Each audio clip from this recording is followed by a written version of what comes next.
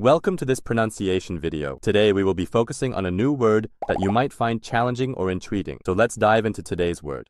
Ankeona, which means not in Korean. Let's say it all together. Ankeona. Ankeona. Ankeona. One more time. Ankeona. Ankeona. Ankeona.